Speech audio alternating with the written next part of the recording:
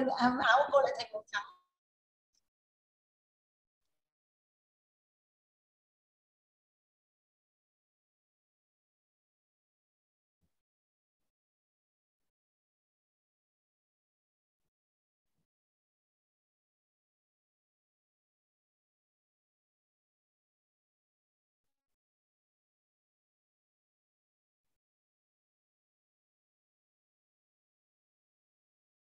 Hello, good afternoon, everyone.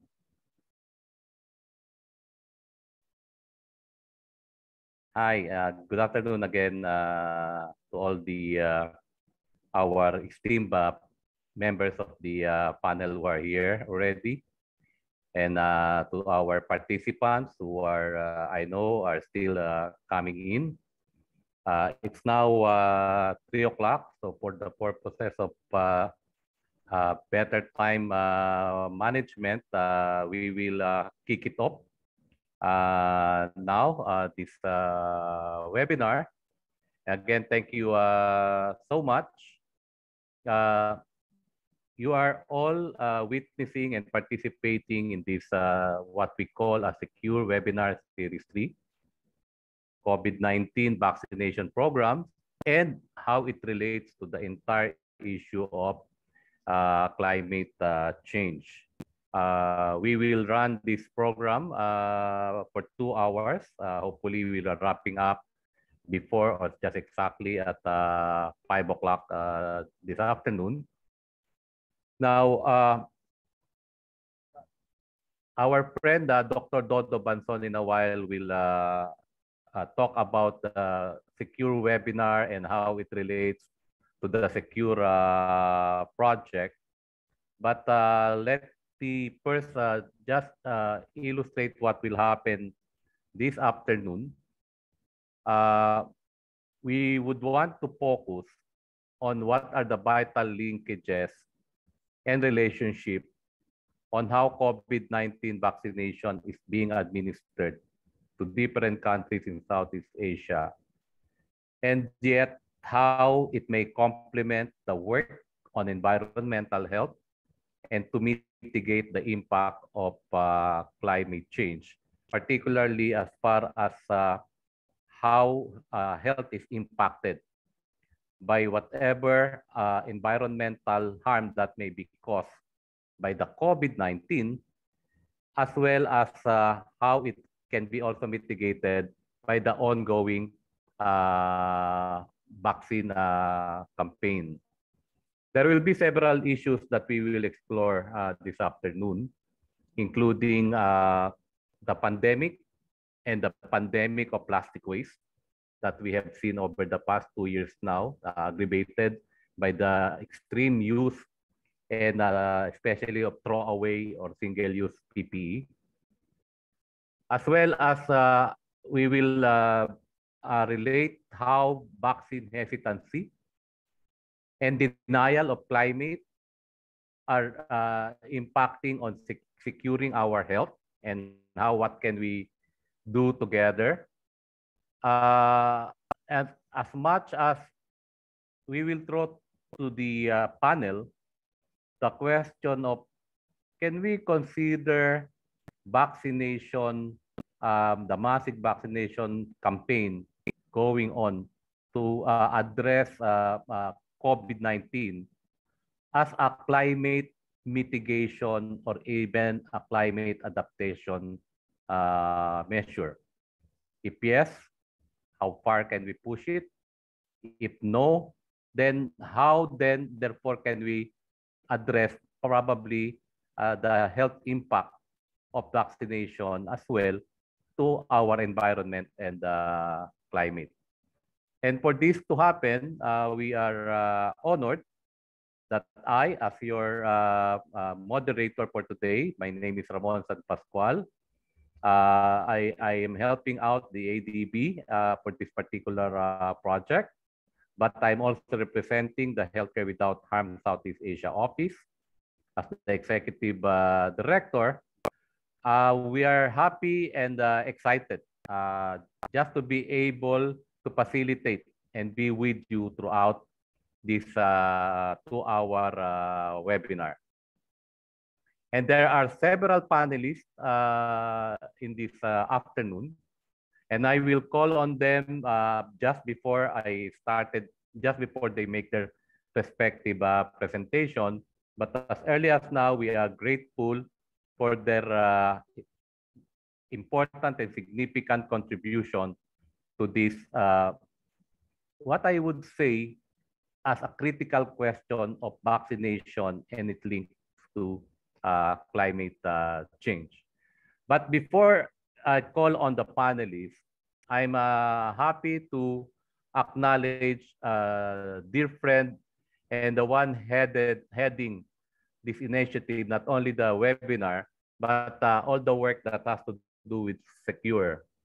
Dr. Eduardo Banzon champions universal health coverage and has long provided technical support to countries in Asia and the Pacific and their pursuit of this uh, uh, goal.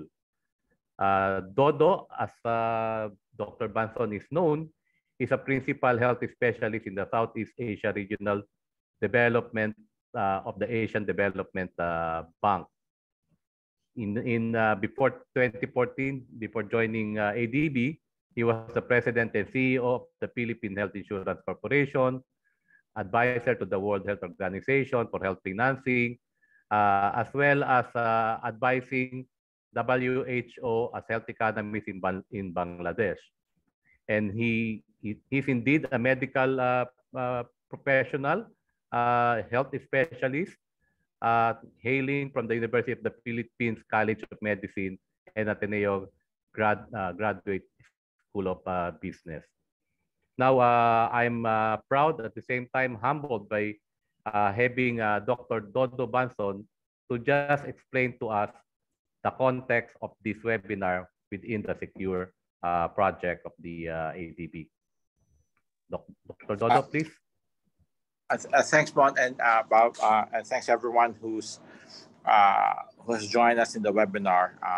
So the Secure TA is a regional TA from the Southeast Asia Regional Department. It is supporting countries, developing member countries in Southeast Asia, uh, and other developing member countries, in the rest of uh, uh, who, are, who, are, of Asian Development Bank, uh, implement and uh, uh, COVID-19 vaccination and develop interventions against future health, future disease outbreaks and, probably, and any future pandemic. So essentially, what we're trying to do with Secure is uh, is help countries make sure COVID-19 vaccination, which is ongoing, is done right. At the same time, to learn lessons from uh, from the COVID-19 vaccination, uh, and to find ways in which we could uh, maximize the value of COVID-19 vaccination and other future interventions against the pandemic. And so this is how we started to have this uh, webinar as a sharing, as a mechanism for countries to share their experiences, and not just countries, but also for experts, and to explore and do deep deep dives in certain areas. And uh, and in this for this webinar, we're gonna look into uh, the relationship of climate change with vaccination, and in a sense, much more broader as what uh, was said, uh, health and climate change. So uh, I'm excited as everyone to listen to this presentation. And Mon, I back the floor to you. Thank you uh, so much, uh, Dr. Uh, Dodo Banzon. Uh, without uh, further ado, we will now move forward to the panelists. And I'm happy that in this program, we will have four topics to be presented by series of expert panelists. On the on the just to mention the range of, of uh, subject matters we will be discussing this afternoon. It will be kicked off uh, by uh, an expert, uh, one on the topic of environmental and climate impact of the pandemic and how the vaccination is placed in the entire uh, climate environmental impact in impacting health and re related to the uh, pandemic. That's one topic. We will have another one on obtaining health security uh, amidst a pandemic and uh, climate change. And then uh, we have we are attending two crises right now. One is climate crisis as a health crisis, And of course, COVID-19 as an extremely difficult to manage public health uh, crisis. And uh, how are they uh, related as far as climate action coming up from the healthcare sector is concerned? That's another topic. And then how do we communicate effectively when there is a quite a strong resistance, especially at the beginning against the vaccine, and even denial up to now uh, that climate change is uh, real. So for the first topic uh, on the um, environmental and climate impact of the uh, pandemic, I'm uh, happy to uh, introduce to you Dr. Uh, Glenn Paraso, uh, who is the administrator, CEO at the Mary Johnston Hospital. And I can proudly say that as a climate champion, he served in the Climate Change Commission in the Philippines as an, as an advisor uh, to health. And as a green uh, hospital uh, champion, he is among the most prominent uh, leaders uh, in the Southeast Asia within the network of uh, Global Clean and Healthy Hospital uh, being uh, managed by the Healthcare Without Harm. And as a climate uh, champion, and he can tell you a lot about this, he initiated within his hospital several programs and initiatives and projects just to mitigate the impact of climate uh, by reducing their own carbon footprint as a hospital, but also to build resilience in the healthcare uh, setting. How did they fare during the entire pandemic? And what's the role of the Mary Johnston Hospital has provided under the leadership of Dr. Glenn Paraso? I'll call on him now. My dear friend, uh, Doc Glenn, please.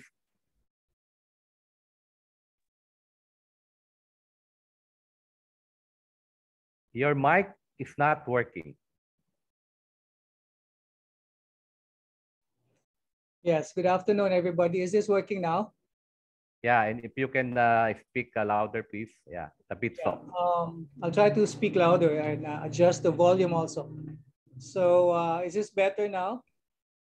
Yeah, we can uh, we can uh, hear you, and I hope it's uh, louder.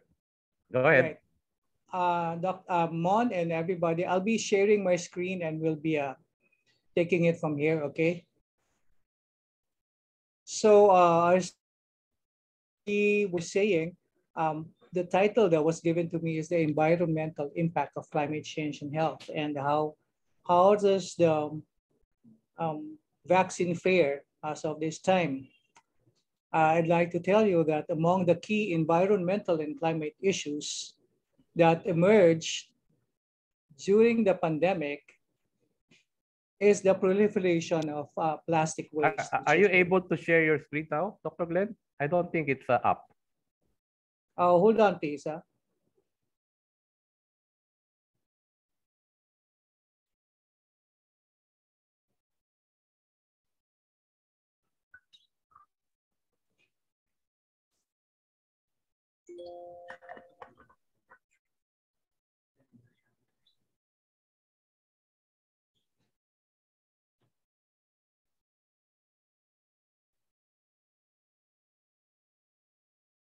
Is it all right, uh, Doc Glenn? Uh, is it being uh, uploaded now? Or we can also uh, share it uh, for you.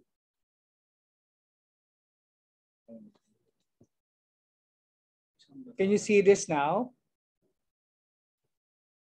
Ah, it's coming. There.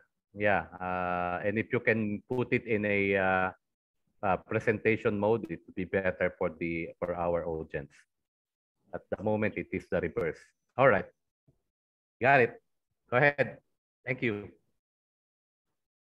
You can start, Doc Len.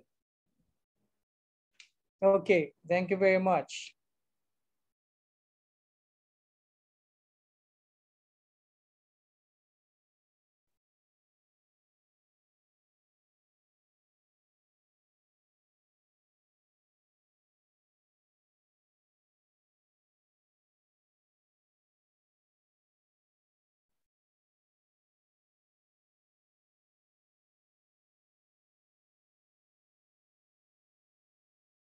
Clear Now now? we lost your voice. Yeah, can you hear me now? Now you can hear you. Okay. Go ahead. Uh, Of course, this is live, so we have a lot of uh, um, challenges uh, when we're doing this. All right. So uh, uh, the topic given to me was the environmental and climate impact of the pandemic and uh, how the vaccination fares at this point in time. You know that there are environmental and climate issues that have emerged during the pandemic period. And uh, one of them, as one is saying, is the proliferation of plastic waste, which is brought about by the use and overuse of disposable protective gears, or what is better known as PPEs. Now, the waste that was generated from gowns, gloves, masks, face shields in the prevention and treatment of COVID-19 and in the conduct of vaccination campaigns have impacted our environment. It has posed a climate threat, as we will explain later, and heightened the health vulnerability of our populations. And these negative effects must be managed through what we call policy interventions and effective programs that can help save lives without necessarily destroying the climate and the natural environment. Now we know that COVID-19 vaccination is the largest immunization campaign to date in the world and uh, billions of people have been vaccinated and more will be targeted in the coming years. You know, the pandemic has not left us. And this is expected to further generate then an unprecedented amount of waste. Uh, Doc Len, You know, your slide, your slide is not uh, moving at the moment. Uh, you may be uh, already repairing to your uh, another uh, slide. What we're seeing is the introduct intro slide. But uh, go ahead. Uh, yeah, Yeah. So yeah, this is still part of that slide. go ahead. Right. Um, so uh, vaccination will be more targeted and will be targeted in the coming years.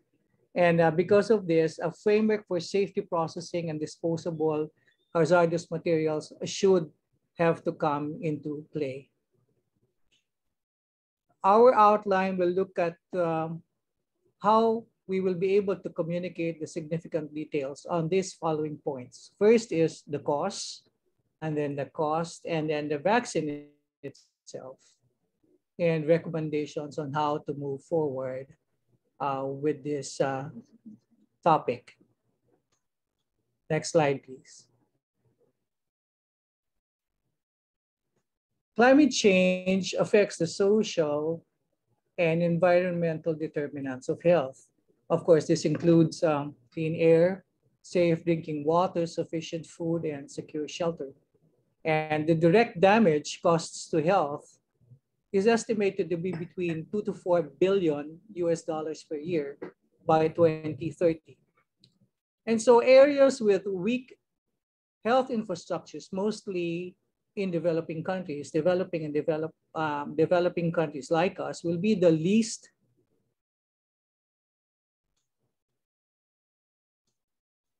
able to cope without assistance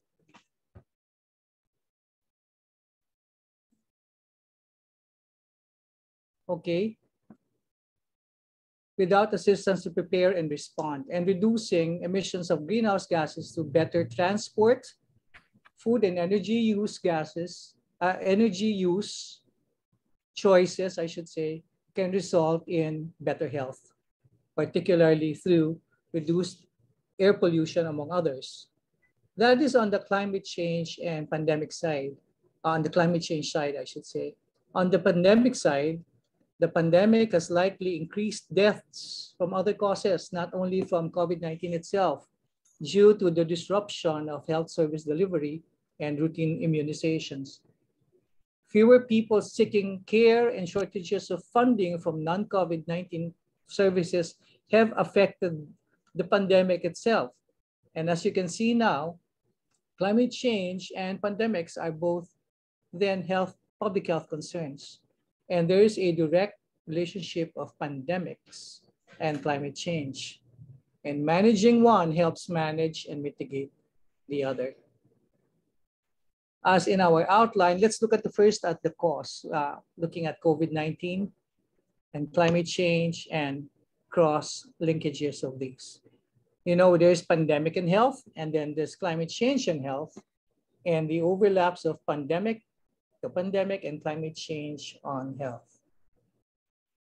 Just to show you a slide that looks at cases during the timelines, in December of 2019, that's when we started with uh, the coronavirus, formerly known as 2019 nCoV, and now renamed, renamed COVID-19. This had rapidly spread throughout China and went global.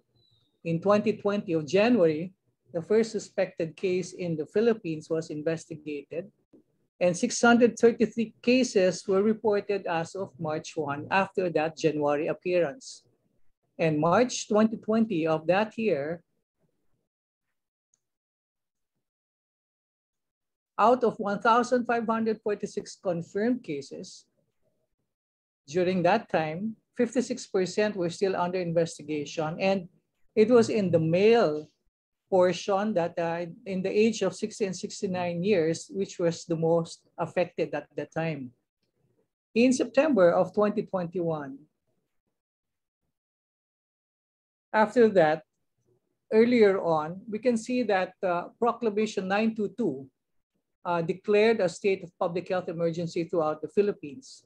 And in September of 2021, there was a booming recording of cases of 161,000 and 50% were now both from the male and female with the most, uh, most effective age group of 20 and 29 years old. Fast forward to this year in January 2022, as of uh, 30 of January, a total of 3.5 million cases in the Philippines have been recorded and uh, with as much as 53,000 more deaths at 1.6% death rate. And um, since the beginning of this uh, COVID pandemic until now, um, there, there were different waves that were seen. And the last was uh, during this January 22 when we were having to observe the Omicron subvariant, which uh, heavily hit the Filipinos, but there were not so much hospitalization during this time. And um, yeah, they were peaking in January and uh, in early January and afterwards, it has now been on the current downward trend. Although as of the, today, there has been reports that we're uh, again on the uptick and uh, NCR is again in the moderate risk category. The next slide will show you our costs outline, which looks at the effects and impacts of uh, both COVID-19 on the left slide and climate change comparatively on the right slide. As you can see, they both have direct and indirect effects and impacts. So uh, while COVID-19 has its overall collateral effects, climate change also has these same effects. And truly, they are overlapping in some manner. You know, the health infrastructure in uh, COVID-19 has been overburdened and uh, medicines have been diverted from other causes.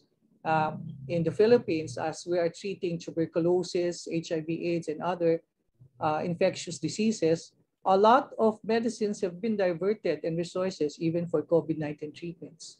Also, supply chains for non-COVID-19 medicines have been disrupted and a lot of diseases have been deferred.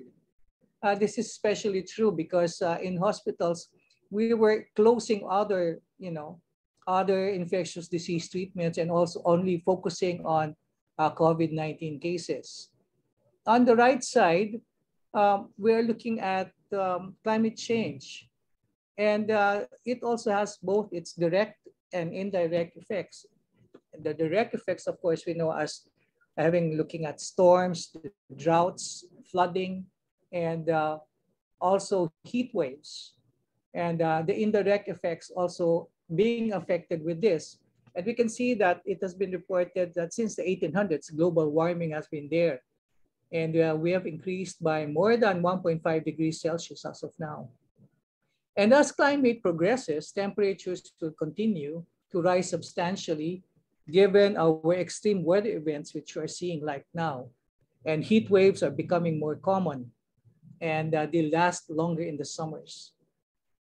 you know, the converse is also true. Climate change will also result in shorter snow cover duration and um, on the other side of the globe.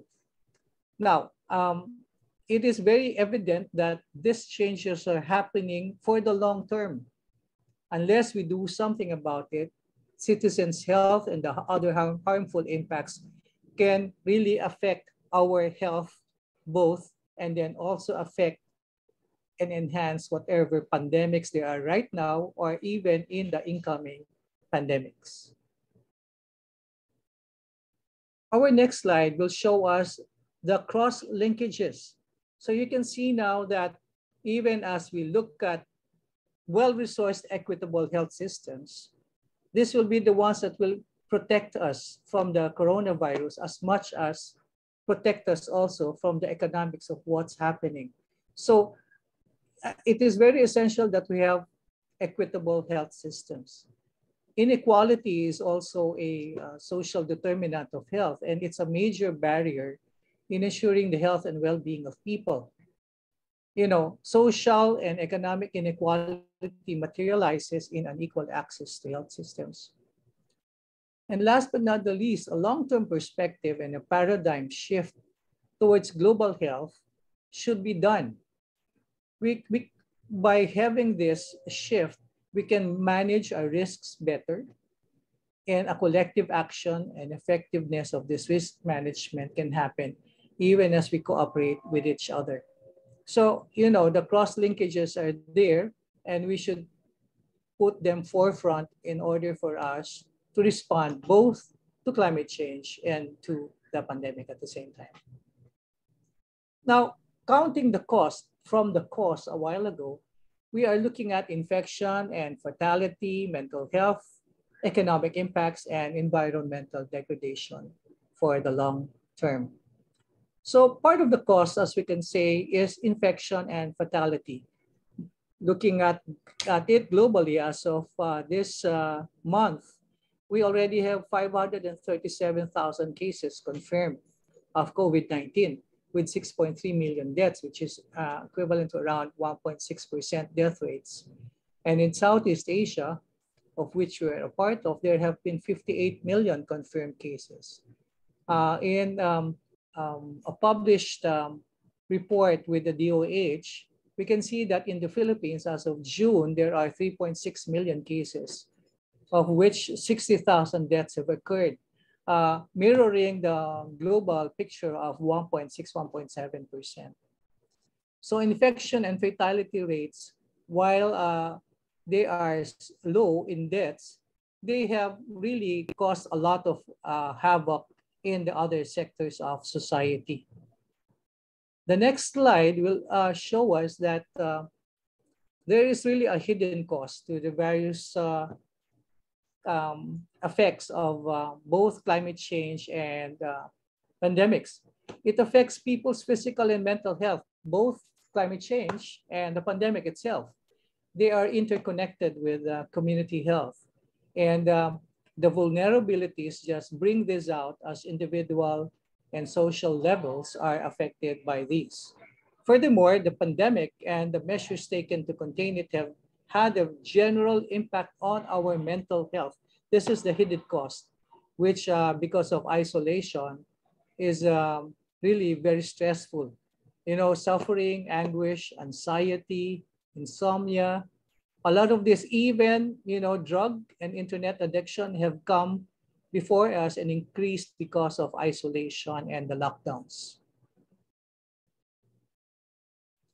We can see here now that Another cause is not only mental health, but also the economic impact.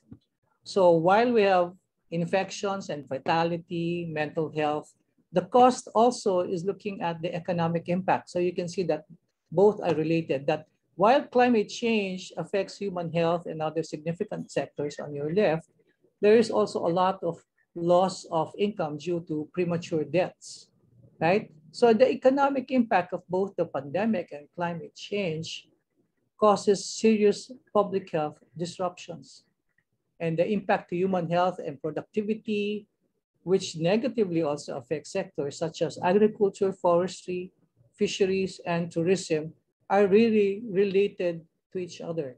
Trade and supply chain management is also related.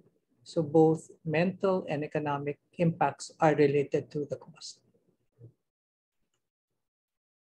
This slide will show us that there is a cascade of things that happen with environmental degradation as a cost of both the, of both the pandemic and climate change.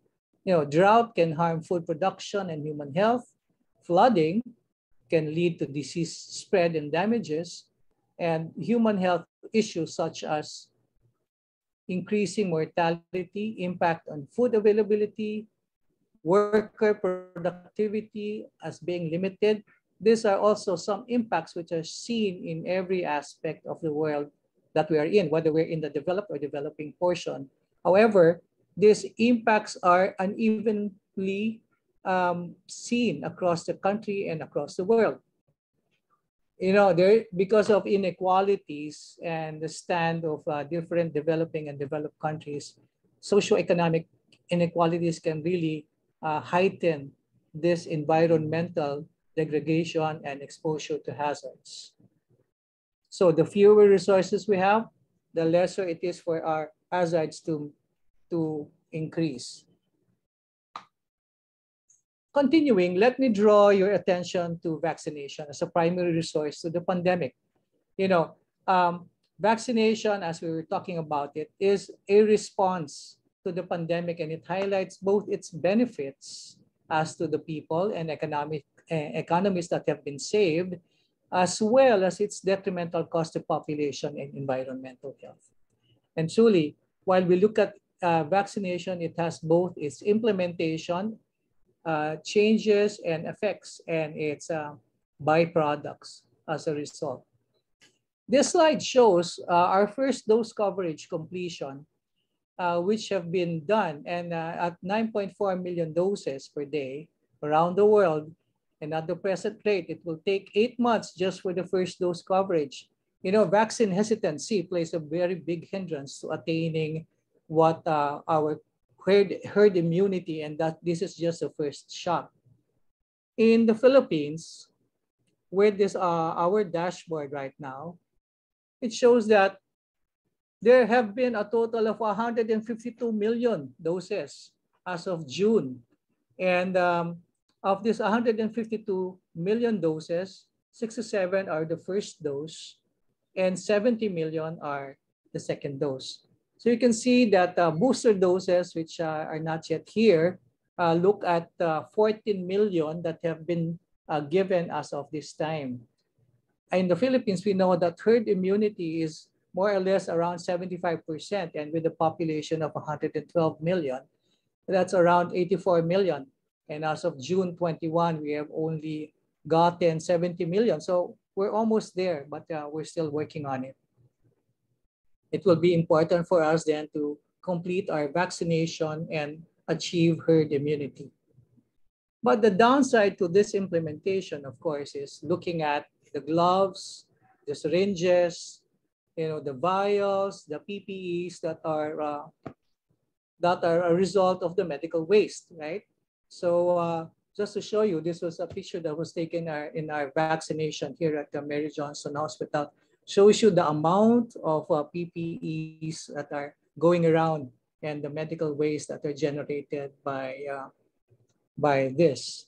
Our next slide, interestingly, will show us that 140 million test kits worldwide have been shipped. And uh, this has given us uh, 2,600 tons of general rubbish and 731 liters of chemical waste. More than 8 billion vaccine doses already have been given, and this has given 10 times increase of uh, healthcare waste load in uh, the different facilities that we have.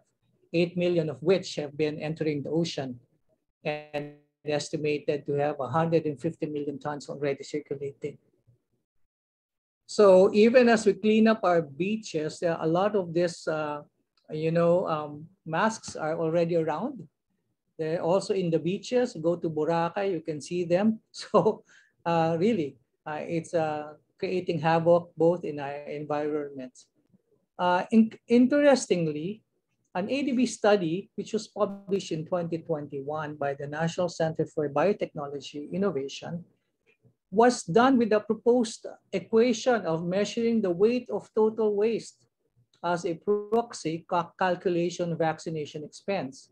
And our Department of Health estimate that this composite total cost of vaccination is around 1,300 per person. Therefore, uh, with a proxy of around 91 billion using this, uh, um, this uh, formula, that's around 91 billion pesos for a complete vaccination of two doses, as we said a while ago.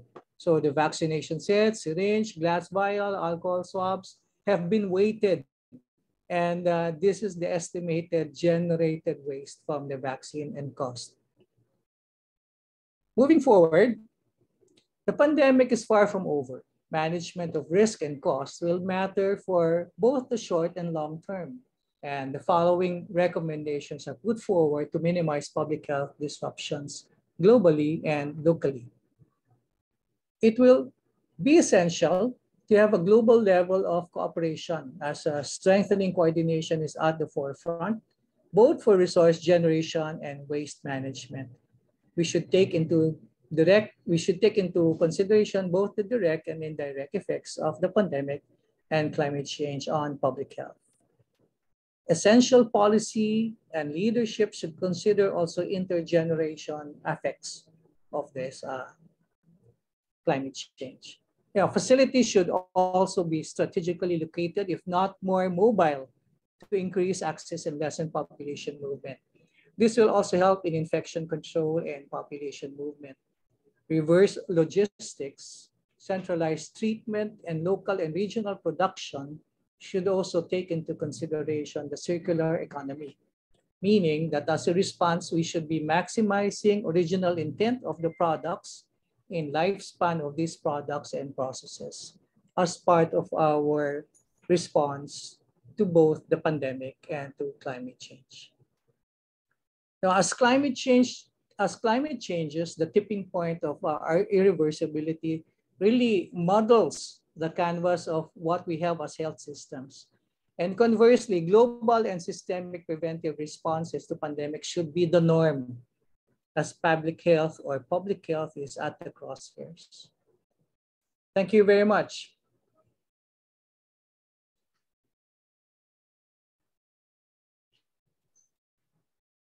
Juan, back to you. Paraso, thank you so much for that uh, very, uh, I would say, fresh perspective of how COVID vaccination and then the environmental impact uh, and then on climate uh, as well.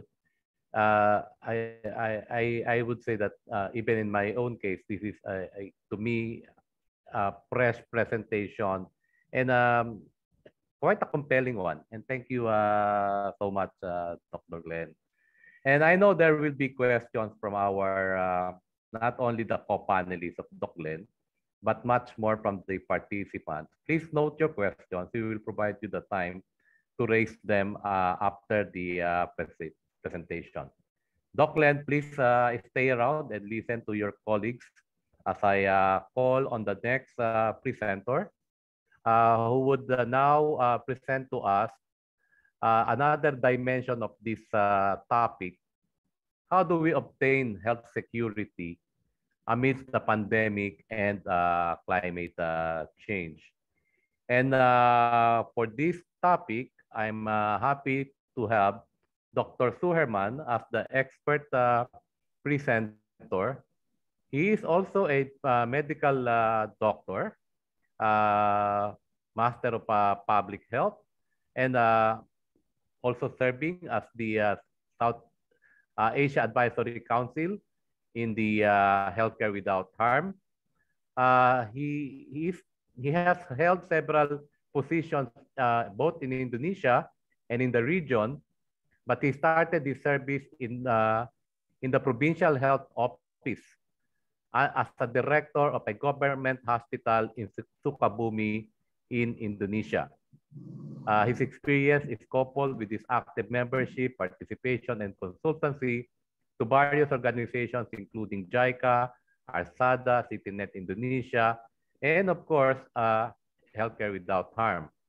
At present, Dr. Herman concentrates on strengthening the health district uh, management and hospital transformation and management while actively pursuing design and change management in various parts of uh, Indonesia. So uh, we're happy to uh, have you, Dr. Suherman. Uh, please take over. Yeah, thank you, Mon. I think it is my pleasure. Uh, good afternoon, good afternoon to everyone, and also to Mon, who has already facilitated me for speaking in this uh, important seminar, maybe. But I think uh, the topic is quite uh, challenging for us because uh, this is the issue you see about the health security amidst the pandemic and the climate change. I think just based on this uh, topic, I think it is very uh, proxy for us here, I mean in Indonesia, because I think uh, only a few of uh, our health professional, mostly from the hospital side, talking about uh, this issue very clearly. So based on this, um, I would like to share. Please continue the next slide, please if we think about uh, global health security, I think we should remembering about the four issue inside. The first, I think I'm very thanks to Dr. Glenn who was already uh, explaining about the linkage. But the global health community, government epidemiologists, multilateral organization, technical company by WHO is very important thing to uh, inform about the health the second is about the focus on the what matters, find and the fund rights ideas. This is the uh, some of difficulties maybe to how to make it integrated in one position. The other issue is about the using tools and data science because we are uh, without the supporting of the data science, we can carry content of the global independence pandemic and prevention. But we are the best uh, insurance a policy against another pandemic. The fourth issue is about the collaboration in the world of the connected world. We know that Intelligence Center was already uh, explaining about the uh, genomic and the uh, sequencing, population mobility, public health, and also height of location and target interface. I think this show should be uh, in our mind about the global health uh, security in our. Please Next slide, please.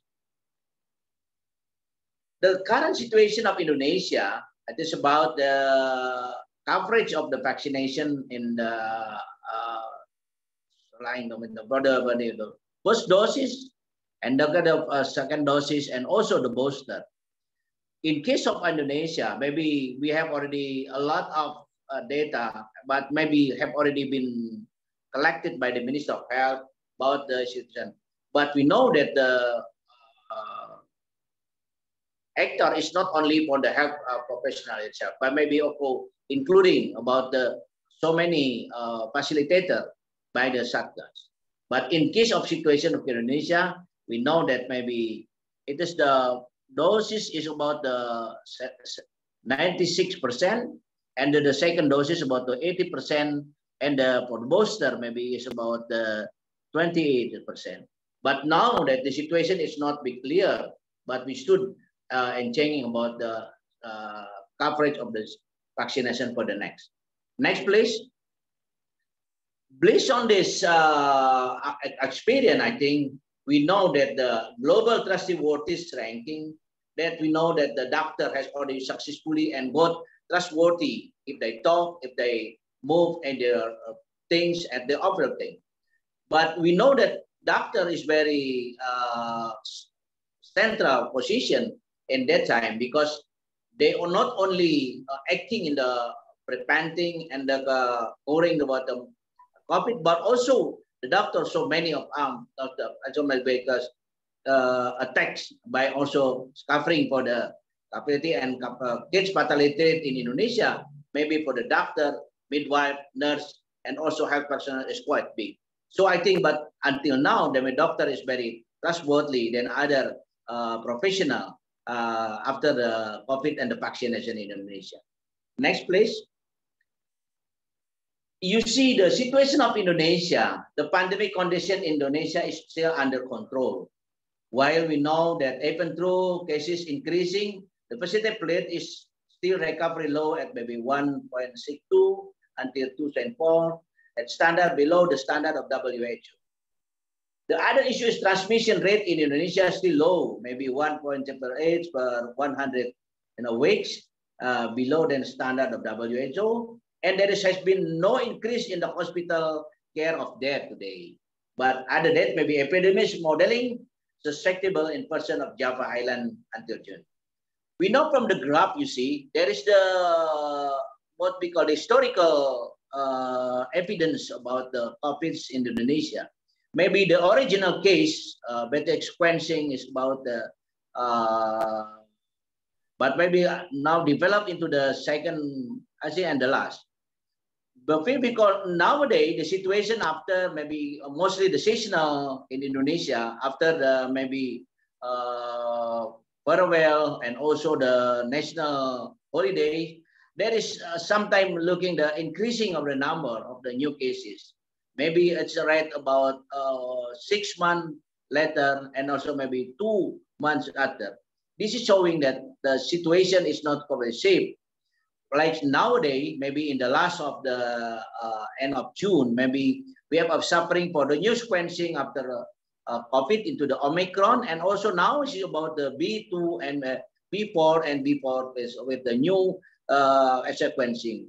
So that's why the increasing the number of the case in Indonesia also not only was the old case, but also it is the mode about the finding of the new sequencing like that. So this is the uh, figure of how the uh, level of transmission uh, uh, community in, uh, in based on the double standard. Maybe the number of cases is uh, 20 case per 100 uh, patient per week. And also the in-house uh, maybe below than uh, five rate for the 100 patient in weeks. And uh, that rates maybe uh, about you know, uh, lowering that uh, one uh, from uh, 100 stable in the week. So this figure showing us that we are not on the safe, but we stood uh, looking for another preparation about the health resilient and also for the sustainable. Next, please. Next slide, please. So what the next pandemic and when? We know that the pandemic climate of crisis, so many issues about misdiagnosis, misunderstood within community, but between all the personal, the government, local government, central government. The other issue about the global health emergency, it's not only the pandemic itself, but often say that there's another issue should be uh, protected. Then uh, next is about the how we can also preparing for the global health security, the testing of the apparatus, resilient, and also governance society approach to make a sustainable issue. So if you look at the uh, next pandemic, I think it is very if, not the depend. Thank you. Please, please. Next, please. Next, please. Yes. We would like also to explain or to ex explore about a relationship among human rights, environment, pandemic, and climate crisis. We know that maybe reducing the risk of the zoonosis and the expansion of the existing factor, it's not so easy. It is should be looking for the fulfill the rights of the healthy environment. It is about the safe climate, it's about the clean water, sanitation, clean out of the healthy and sustainable solution, food, and also the waste management and healthy ecosystem. The other issue we also reading about the interaction with the nature. We should maintain and maybe uh, getting about the new paradigm, how we can uh, minimize about the 60% of infection disease and the 70% of the emerging of the infection disease in the human at the. So other issue we could also convention about the uh, how the about the human induced environment changes, modified with the maybe with wipe the population, and also about the need of conceptable about the people and the nature.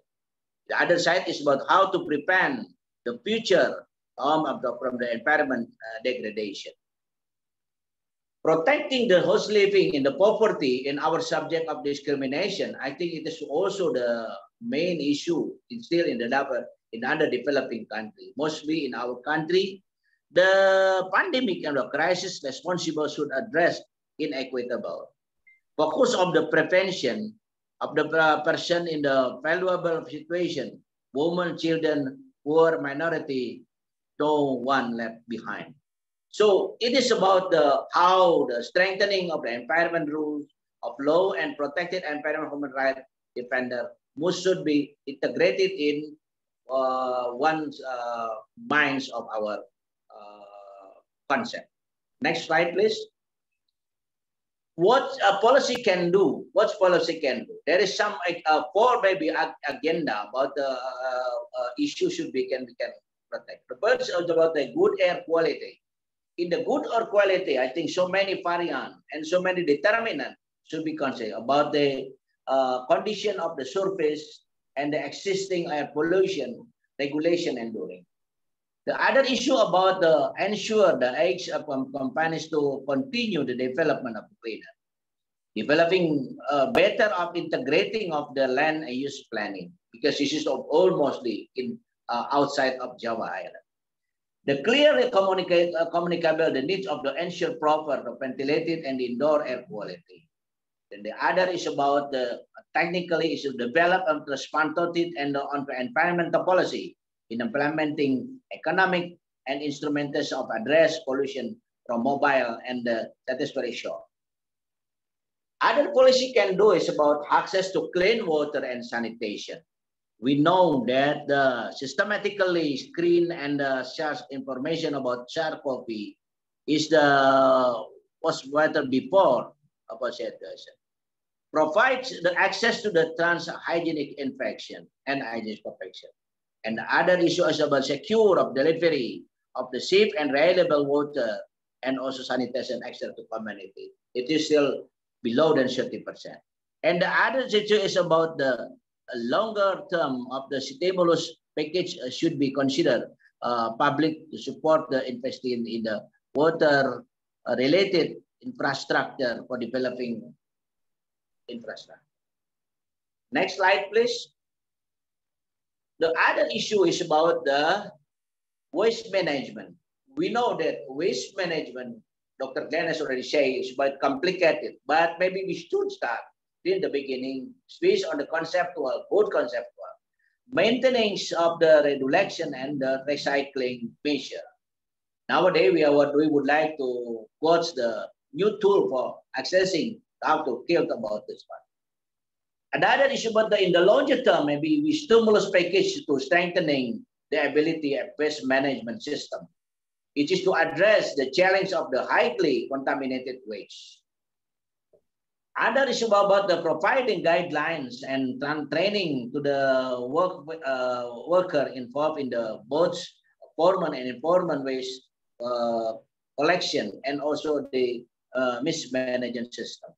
And the last is about the supporting by the effectiveness of managed biomedical and healthcare waste through the appropriate identification, collection, separation, storage, and transformation treatment and the disposal.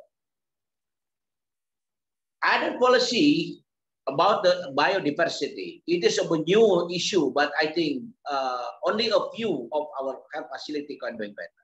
Integrates a biodiversity factor in the business and investment decision, including through the responsible supply and chain management.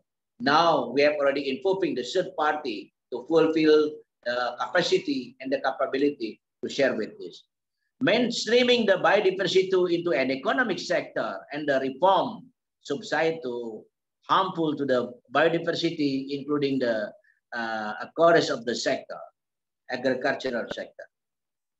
Other uh, biodiversity action should be is about the scaling up, about the policy instrument to create the economics and incentive to the conserve and the sustainable use of diversity, such as the forest protection and also the address of the illegal and poorly managed about wild trade. We know that Indonesia nowadays is about the coal problem and also about the uh, distribution and also for the uh, not safe uh, for And the other is about the support of the ambitious and the effective post-2030 about the global diversity framework and uh, the United Nations Convention on the Biological Diversity. We have already stated in the 2045, maybe we would like to go the golden national uh, achievement with the target maybe uh, the, increasing the number of the uh, emission not uh, uh, to income about the 1.5 uh, of the one. Next, please. The COVID pandemic and post-pandemic pandemic. We to think about the four issue. The first is to better uh, to underline about the protects against the threat of the COVID-19. We ensure of the age can be the protection and effective vaccine. Continue vaccination outreach and education effort to combat misinformation and disinformation should be occurred until now. Ensure there is enough treatment for based on the guideline by the Minister of Health Standard and maybe also the support by the uh, National uh, Insurance. To test to the trade of initiative, until now, maybe for the uh, second episode, uh, and the uh, fourth issue should be uh, increasing. One stop of website allow the easily to find health guidance based on the corporate risk in the local area and access to be the protected themselves. I think it is also putting important portion. Increase the manufacturing of COVID tests and the uh, priority protection for immunocompromised and disabilities and the older death. Nowadays, situation of Indonesia, also we have already using the dendritic concept and also to make the our own uh, vaccine by the, developing the concept from the dendritic into the uh, autoimmuno uh, treatment uh, rather than vaccine uh, mission. The second issue is to how to prepare for the new variant. We know that the, now the variant is already going up with the, on the sequencing from the uh, COVID to Delta and also to Omicron and also now to B4 and B5 uh, uh, sequencing. The determinant of the impact of the new variant of our vaccine, treatment test and update tool is needed because we know that the, the exchange about the variant also uh, decreasing the capacity and capability for the vaccine uh, effectiveness. The third is about the prevent economic and education shutdown. We know the give school and business guidance to ensure safer school and workplace is very important, not only for the uh, health uh, intervention, etc. Then the board is about continuing to lead the effort of the vaccine people and the safe life. This is the four issue agenda for the how the uh, the COVID-19 pandemic and post-pandemic the pandemic. And our question is how the when the pandemic is to become uh, transition into the endemic. It is our target in the in the short time. But before that, maybe issue uh, prompt vaccination program, mostly in the referral system of the hospital, because we know that the vaccination is the main issue from the primary uh, health system services, but the maybe in the time, maybe so many facility can also supporting for the vaccination program. We find that several issue find within the vaccination program. The first is about the misinformation, disinformation, because uh, not only by the layman in the uh, grassroots, but also politicians sometimes they denial about the situation. So based on the situation, it's not supporting for the coverage of the vaccination itself. The second is about lack of human resources for mass vaccination at secondary our facilities because we should uh, got the uh, the best coverage with a few of the uh, well-trained uh, vaccinator so we can uh, enrich and develop, empower so many health professionals, also, also maybe the health practitioner student to also to supporting for the vaccination. Strengthening the rules of the primary health care in the care facility. We know that maybe above than uh, 88, uh, 80,000 uh, health, uh, uh, primary health care, not enough uh, to coverage maybe about the one uh, 280 billion uh, people population in Indonesia. And then about the incentive and collaboration program. Nowadays, the national uh, government support for the giving the incentive to the health professional and other uh, supporting system by the agency in the local, provincial, and the central government to support this. But the collaboration program successfully to, to reach and to cover for the uh, increasing the number of coverage. Issue of vaccination transportation, because it is not only about the cold chain, but also we should bring the cold chain into one island to the one island in the same time, but also in other need supporting for so many vehicle inside. The, uh, the last is about the target of vaccination, how to handle. It is a, a big a problem. It's about the data because we can sometimes it is easy to go maybe the under five children, maybe the uh, intermediate school, senior school, but but it is difficult looking for the private, corporate, and mass vulnerable because in the same time we should coverage all of the uh, population who got the vaccination. It's about the, uh, the last is about the population data. We have sometimes difficulty to get which one who's already been vaccinated and which one, while we know it's about a single identity card, but it is still a doubt in the situation. Next slide, please. The transition pandemic to endemic, when is it better? The infection of disease that are not epidemic certainly naturally. The cross of the transition to the endemic state or eradication.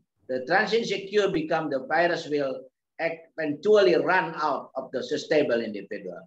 There is a, a five uh, prerequisites about the uh, position based on the WHO to God's uh, clear and that the pandemic should become uh, trans to the endemic.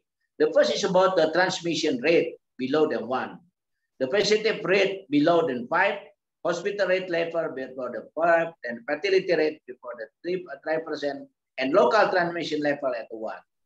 And also it should be monitored stable in the uh, with, with maybe in the six months after the first day. So we still uh, requisite about this position to become that is there uh, any possibility uh, not only Indonesia but also uh, around the world in the global can go the maybe uh, transition to pandemic to end.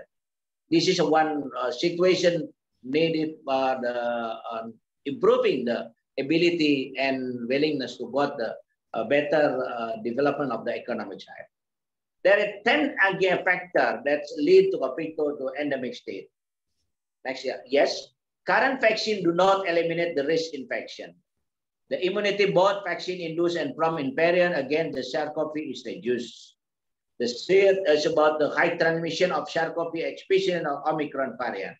But until now, maybe the B4 and B5 is difficult to code. Current vaccine only reduce uh, virus shedding, not process when the body contain viral particle. And the spread of the environment and transmit to other people that does not stop at that transmission. There should be understand about the relative high mutation rate of SARS-CoV. Maybe now we have identified uh, the same uh, sequencing like what have already happened, like maybe in the UK, like in the uh, Europe and, and also from the other country in Asia about the new variant which already got. But we know that while the variant is not been uh, separate, separate uh, than uh, like Delta, but maybe to spread out and then kind of killing about the uh, potential of the vaccination. The issue of the global coordination maybe we should uh, increasing the lack of the global coordination for the disease elimination step. We should similar based on the WHO guideline. For uh, Suherman, uh, if you can uh, hear me, please. Would yes, you mind uh, ra ra wrapping up the presentation, okay. uh, please? And there are yeah. questions anyway. We will have Maybe your last. I think yeah. last the presentation. It Thank is you. about issue the uh, next slide, please the three necessary climate solution uh, that will create a healthier. Which about the clean up the, our energy and electrify everything. And the second about clean up of our atmosphere. And the third is about the, how to make out our community and facility resilient. So that this is the three necessary uh, solution for create about the healthier and safer. Next, our summary is uh, the pandemic, the next pandemic of global health emergency is not if, but it is when. The second is about the how to promote the green investment, not only by the government, but also private sector and also the community. Last slide, please. We must go for another, uh, must go for the other to be innovative and also to make a pattern of skill and make solution together for sustainable. And the last is about the transmission of COVID uh, through the endemic state uh, continue to lead the effort of the exchange to word and shape life in the right of step of us. Thank you for the uh, facility of our presentation. The pandemic is not over yet, but don't ignore about this. Sometimes it's better to come again with our preparedness resilient, sustainable, and also sustainable. Thank you so much. Thank you, uh, Dr. Uh, Suherman, for that very comprehensive uh, uh, presentation. I am already seeing some questions from our uh, uh, participants and uh, keep on infusing your question to the chat, please, and we will address that later on. And I like Dr. Suherman, your uh, second to the last slide when you when you mentioned the need to build resilience in our healthcare facilities because that is exactly what will be discussed by our uh, next uh, uh, presenter. Uh, and and yeah, how do we consider vaccination as an adaptation measure? Or even a climate mitigation uh, measure. And, and, the, and this is through a presentation to be done at the level of hospitals now. Uh, and I'm happy to introduce Dr. Lee Tai Ha uh, from Vietnam. He is the vice, she, she is the vice director of the National Institute of Occupational and Environmental Health in the Ministry of Health in uh, Vietnam and uh, one which is one of the two collaborating countries of WHO WPRO in Vietnam. Uh, Dr. Ha uh, is in charge of the WHO uh, climate change uh, programming as well as medical testing and environmental analyzing uh, department.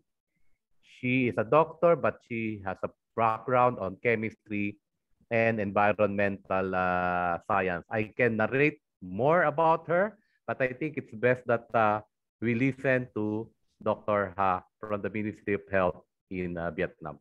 Dr. Ha, please. Yeah, thank you for, the, for your introduction me. Please share my presentation, please. Uh, first of all, I want to uh, thanks for inviting me to here for um, uh, presents the topic about the healthcare facility resilience uh, to plastic waste. I think that is uh, a different uh, aspect of the climate change because plastic waste also to uh, to very uh, to have a very close contact with with climate change and for the situation of COVID-19, the rising the plastic waste during the COVID-19 is also a problem in the uh, uh, in the um, in the environmental. Next slide, please. Uh, the content of my presentation is the impact from COVID-19 and climate change on healthcare facilities. The second one is the situation of uh, plastic waste generation, collection, and treatment in Vietnam uh, in general and during COVID-19. And the last one is the urgent recommendation and action. Next slide, please. Uh, next, please. Uh, we uh, we understand that that the uh, uh, we found the hospital waste uh, represents the bulk of the global discharge and most of the global discharge is from the Asia. We call for the better, we need for a better management of medical waste in developing country. And for this one, the, uh, the waste, uh, the, the healthcare facility waste, including the plastic waste is also a problem. Next slide, please. So is uh, some picture about the typical uh, uh, medical plastic waste in healthcare facilities. You can see uh, many uh, personal protective equipment, PPE, and for COVID-19, many uh, syringe, uh, single-use plastic use, many things we can see. And uh, plastic, we, uh, we understand that it's very, uh, it's a strong and heavy impact uh, to the uh, to the environment. next slide, please. Next, please. Yes, that is the uh, fundamental links between climate change and uh, marine plastic pollution. I think we uh, understand very clear about this one and I, I want to go to, to pass this uh, slide. Next, please. Uh, that is the impact of climate change on healthcare facilities about dealing with uh, plastic waste. Next, please. Mm. Yeah, next, please. Mm, that is a type of plastic waste in healthcare facility. Uh, we divide the infectious uh, plastic waste. Uh, it, it means that it includes some uh, some blood, some uh, uh, some blood or some of the of the patient in the healthcare facility or something like this. You can see. And the second one, and the second one is the some hazardous. we divide the hazardous plastic waste you can see it's very uh, very popular in the healthcare facility, not only in the uh, in the COVID-19 uh, situation. Next, please. Uh, next, please. Yes, and that is uh, some ordinary uh, plastic waste. it means that some single plastic single use some, uh, it means some uh, plastic uh, cup or nylon bag or something like it, something like that. It's very popular in the healthcare facility. You can see. Next, please.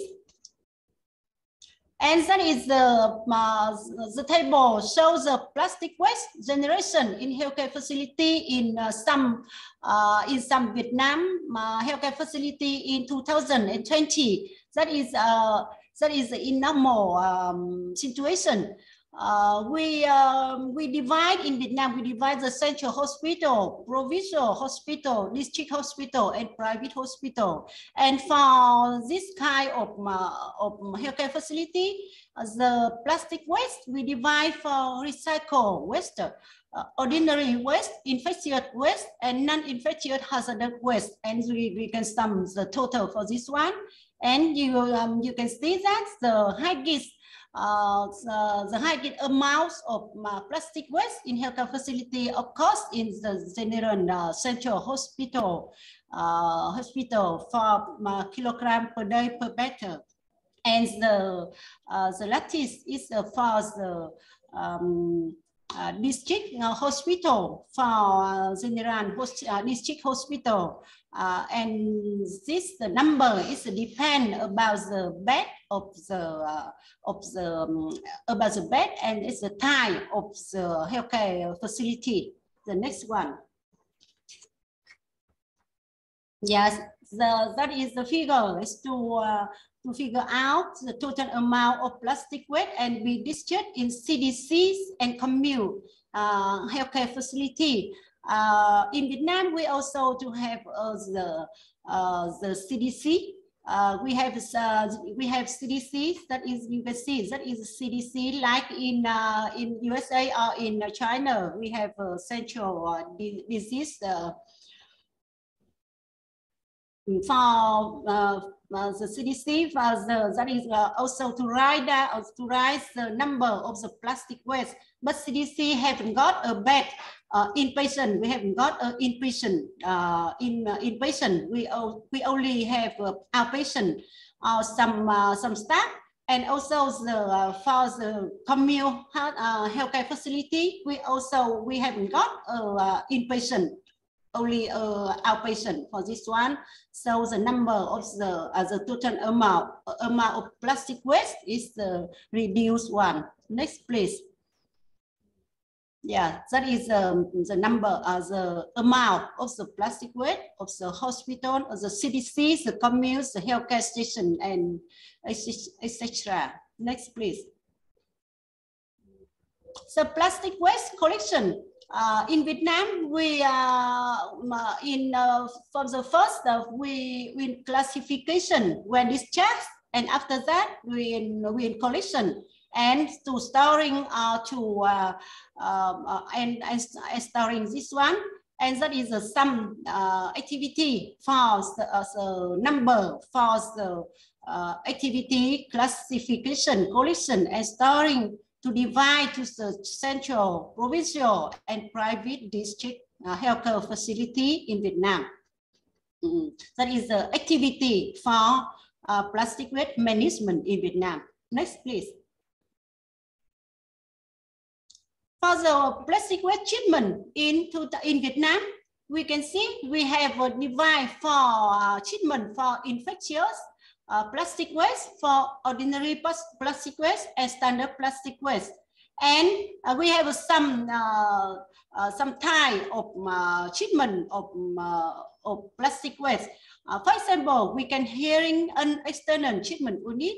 We can use some high technology like wet microwave steaming, uh, we can use uh, we, can, we can burning and cluster treatment and uh, and maybe uh, we can uh, for standard plastic we can selling to other unit uh, the, the standard of plastic waste may be the single use uh, for it uh, it means that the the cup or something the, some something like this we can sell we can selling to other other unit that is the, the, the, the data for the treatment, plastic waste treatment in Vietnam healthcare facility. Next, please. Uh, for during the uh, COVID-19 in 2000, uh, 2021, uh, we do the survey uh, in some um, some uh, some hospital in Vietnam. That is some some general hospital in Hanoi, in uh, in Bắc Ninh province, in Bắc Giang province, and for special um, the special um, hospital for only for treatment for treatment COVID-19 is for Hải Dương for Hải Dương for Hải province, and we also to find that the medical with uh, we also to uh, calculate and to uh, collect the data from the type of plastic waste kilogram per day for uh, medical waste uh, so infectious plastic waste and the risk of containing uh, SARS-CoV-2 and the hazardous non-infectious waste and ordinary waste. You can see that is some data for, for this one. And for uh, for infectious plastic waste, uh, you can see in some hospital it's increasing uh, more than 150 uh, percent uh, for in uh, in COVID-19 in COVID-19 treatment, and the risk of containing SARS-CoV-2 is also to to rise to to rise up the number of is rise up. second, next slide, please. Uh, the, we uh, we compare the plastic waste situation during COVID-19 in uh, healthcare facility and in the general uh, in COVID-19. The total uh, we can show uh, we can we found that the total amount of plastic waste increased by 150 percent and the uh, treatment uh, for this one, we because very uh, special situation. So the treatment is uh, we only to hearing external treatment units. You can see in the uh, in the normal situation, uh, we can, for example, cell cell cell treatment or burning or something like this. But in the COVID-19, we have only two two method for hearing external treatment units. So, uh, so the if the total amount of the uh, of the plastic waste increasing, uh, so the collecting is the puts the um, heavy demand uh, for collecting and storing this one, and also for financer uh, during COVID-19, the total amount of money paying for treating uh, medical waste increasing two to 20 times to compare for the, the, the normal situation. Mm, next, please. Mm, uh, yes, and uh, for the vaccination, because you know that up to uh, um, up to uh, the 8th of March of, uh, of this year, there are about 200 uh, uh, approximately 200 million doses of vaccine was injected for Vietnamese people. Vietnam become one of six countries getting the highest percentage vaccination. each dose of vaccine being uh, if compare, uh, we can we can we can compare that each each dose of vaccine being injected will discharge at least one syringe and one glove into the environment. The, throughout the process of vaccination from source to end of cons uh, consumption, a huge amount of solid waste, especially uh, plastic one will be discharged in the environment without being treated. That is a problem. We will to rise uh, the this problem uh, during the uh, COVID-19. Yes, uh, especially for the increasing the plastic waste. Next, please. Vietnam also have, next, okay, next, please. Vietnam have uh, uh, Vietnam also have oh I'm sorry. I don't know that. Some some slides missing some slides some slide and we will show that. Uh, in Vietnam we are have more than uh, uh 13 13 uh, medical facility, healthcare facility, which also give rise to many different types of uh, accident. Of accident. The Ministry uh, of Health in Vietnam has issued directive number 08 that's July uh, 20, um, 29, uh, 2019 on reducing plastic waste in the healthcare facility.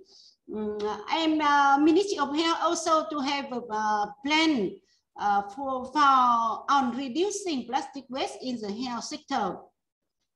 And we have many initiatives uh, for reducing the plastic waste in healthcare facility. For example, for replacing plastic bag, uh, uh, plastic bag containing film and clothes with uh, paper bags, or replacing the uh, replace the plastic medicine bag, uh, promote community um, communication through ban on the website on the unit, uh, replace the blood farm container with reusable plastic one or replace the mica cover also fine with the paper uh, cardboard.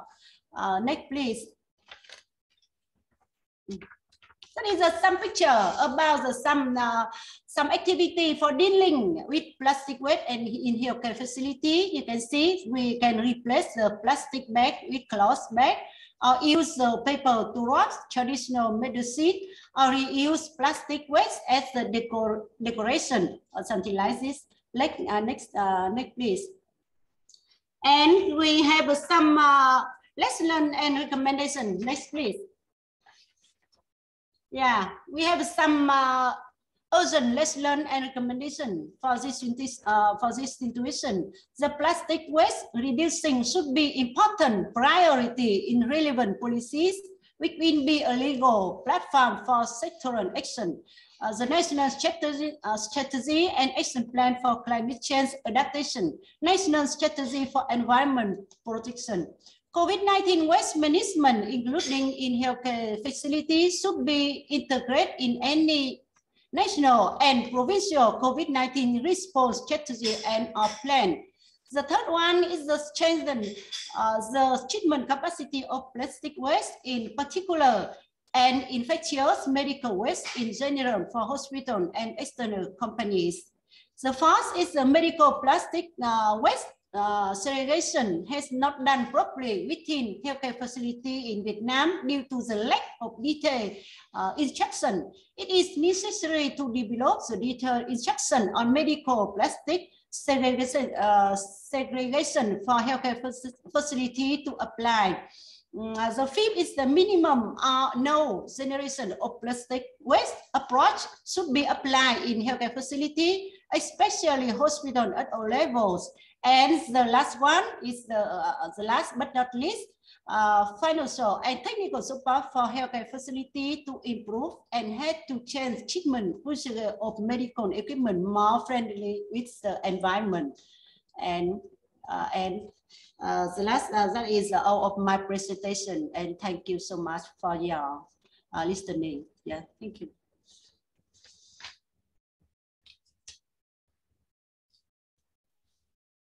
Thank you so much, uh, yeah. Dr. Uh, ha, for yes. your uh, elaborated experience of uh, uh, the plastic waste uh, discharge from the healthcare facilities yes. uh, in Vietnam and how it uh, further harm our environment as well as impacting on our in the climate. Uh, just to uh, proceed with the uh, with the rest of the discussion this afternoon. Yes if uh, there was already a mention a while ago from one of our panelists that vaccine hesitancy mm. is an issue that in a way uh, halt the uh, more effective coverage of uh, vaccine throughout the population. Uh, but even before vaccine hesitancy, climate change denial is also real. And how do they come together and how it yes. impacts on the efficacy of our health services and securing our own health. Uh, here to provide an elaboration uh, on this uh, topic uh, is, is Dr. Uh, Chimaila Mahmood, uh, who is a medical uh, professional and with more than two decades experience managing crisis in health, disasters, and conflict settings. She is currently uh, the uh, executive director of the brand new uh, uh, Sunway Center for Planetary Health at Sunway University in Malaysia. She is currently a member of the Malaysian Climate Action Council and Consultative Council for Foreign Policy and Senior Fellow of the Adrienne Arsht Rockefeller Foundation Resilience Center. Dr. Mahmood is also the Pro-Chancellor of Heriot-Watt University in uh, Malaysia. Uh, Dr. Jemilah, thank you so much. Uh, please uh, proceed with your presentation. Thank you very much, uh, Mon, and uh, thank you so much to the previous speakers who've really given me a lot of food for thought as well. So good morning, good afternoon, and good evening to everyone uh, tuning in wherever you are. Thank you very much for this opportunity to speak on such an important Uh, and critical subject. I hope that this event today will help trigger more conversations across all sectors. For me, the webinar comes at such an opportune time, just when I myself am racking my brain and those of my colleagues in trying to develop a connecting narrative, a story, which explains why much of what I have experienced in crisis and conflicts has led me to the vision that I'm now invested in, which is planetary health. Ladies and gentlemen, first of all, let me from the outset share my firm belief that the COVID-19 pandemic and the climate crisis are so critically and intrinsically linked. Both are driven by the same root cause, that is the ugly disruption to the health of this planet that we can miraculously call home. In my now rather many years as a doctor, I have seen a lot of epidemics and crises up close. But COVID 19 is by far the nastiest. It has shown and is still showing us that there are serious shortcomings in humanity's ability to prepare timely and effective collective prevention of potential health emergencies, clearly illustrated by our previous speakers, brought about not just by ignorance, but by our lack of humility and the sense that we had nature beat when quite clearly we didn't. Equally worrying is that our response capability remains, even after or during this pandemic, woefully inadequate. For some of us, the pandemic was the first time that we've heard of zoonotic disease, where the virus is transmitted from animals to people. But we need to shout from the rooftops that pandemics are 75% zoonotic in origin. And the acceleration of zoonosis that we are seeing now is irrefutably due to human behavior. Our disdain, our lack of care for the environment, how we manage our waste, and the fact that animals and humans are forced to live in ever closer proximity as we encroach on the natural world in addition to the already frightening impacts that climate change is having on the animal world, means that the crossover of viruses between animals and us is on the up. Now, what do I mean by that planetary health? Next slide, please. We now live in the epoch of the Anthropocene, where humanity, it's us, human beings, is the most powerful force shaping the future of the earth, and in turn, dramatically impacting our individual and collective health. As the public health community started to wake up to this fact, so emerged the concept of planetary health. In a landmark report published in The Lancet in 2015, planetary health was described as the achievement of the highest attainable standard of health, well-being, and equity worldwide through judicious attention to the human systems, political, economic, and social that shape the future of humanity and the Earth's natural systems that define the safe environment limits within which we as humanity can flourish. In short, planetary health is the health of people and the planet on which we depend. The prevention and control of endemic infectious diseases like malaria and dengue, many of which are highly sensitive to the climate, will be much more challenging if their upstream environmental drivers are not addressed. And the boundaries, as, as the boundaries between human and animal environments break down because of various human activities such as wildlife trade, our region is becoming ever more exposed to, the, to triggering future pandemics. I hope that I have my first point very clear in that humanity is the driving force of the planet.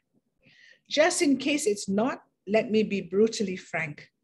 How many international climate related treaties and agreements have we had in the past decades? Year after year, we come out of big carbon generating conferences, feeling good about ourselves, with a list of high level and often unimplementable promises for the next conference to revisit and revisit. But how much concrete progress have we actually made? Mind you, this has been going on for decades. No international treaties so far have put our individual consumption under a microscope. That is precisely what planetary health is all about. Behavioral change at the individual level.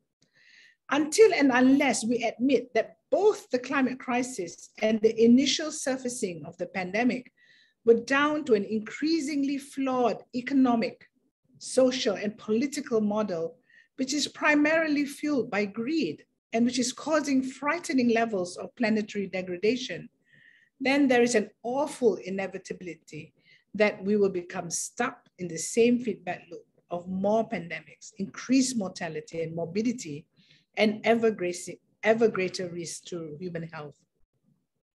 Can we move to the next slide? The same behavioral aspect was and is so clearly evident in our vaccination efforts. If I could reflect on my short stint as the Special Advisor on Public Health to the Prime Minister of Malaysia at the height of the pandemic last year, I truly wish that we had considered in advance how to better manage the environmental impact of our pandemic preparedness and crisis management frameworks. It was seeing all the clinical waste, as so elo eloquently explained by our Vietnamese speaker, discarded masks and plastic takeaway bags that further solidified my commitment to planetary health. At the same time, I'm extremely proud to share that our government's introduction of a green vaccination program was in place where guidelines on clinical waste management procedures were incorporated together with cultivating green practicing, green practices, and reducing overall carbon emissions produced at vaccination centers and health facilities running the national COVID-19 immunization program. This move was urgently initiated after we discovered that the immunization program would lead to an additional 2,079 metric tons of clinical waste within just the first 12 months.